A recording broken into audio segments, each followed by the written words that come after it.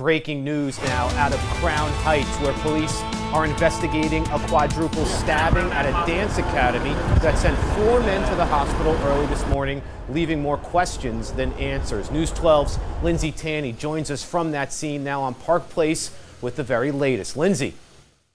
Yeah, that's right. We're told four men in their 30s were stabbed multiple times. This happened just after midnight right behind me here at Miss K's Dance Academy on Park Place. Now, luckily, these men are expected to be okay, but they were all injured, suffering stab and slash wounds to multiple parts of their bodies, including their stomachs and heads. This video shows the initial investigation unfold shortly after police arrived at the scene.